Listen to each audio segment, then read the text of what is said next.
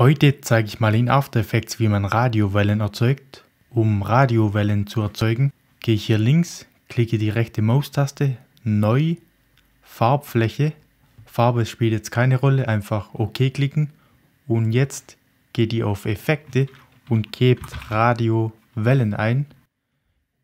Und dann ziehe ich mir den Effekt auf meine weiße Farbfläche.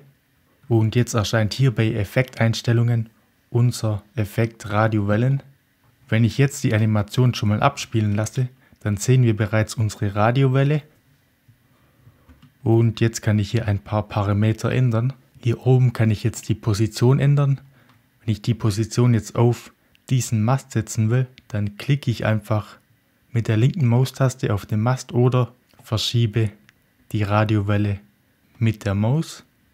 Ich klicke wieder auf den Mast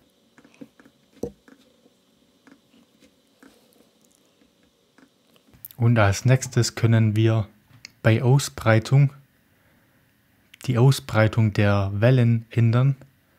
15 wäre eine hohe Ausbreitung und 5 eine kleine. Ich mache mal auf 3,4 und jetzt hier unten kann ich die Anfangsbreite und die Endbreite verändern.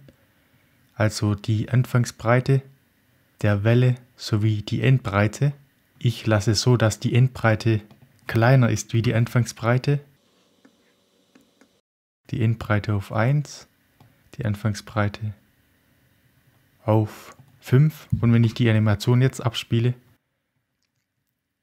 sehen wir, dass unsere Welle immer noch viel zu groß ist und um das zu ändern, gehe ich hier auf Lebensdauer und verringere den Wert auf 3.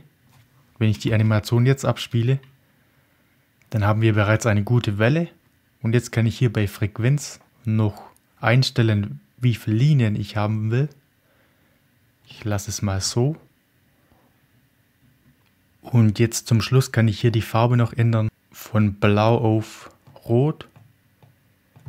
Okay, und wenn ich will, kann ich hier noch die Aufblendzeit ein wenig anpassen, sodass die Anfangslinien noch ein wenig transparent sind. Und wenn ich die Animation jetzt abspiele, dann haben wir einen Radiowelleneffekt.